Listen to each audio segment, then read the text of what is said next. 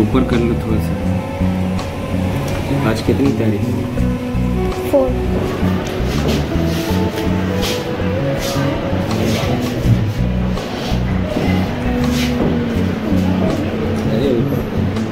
अरे याद हाँ।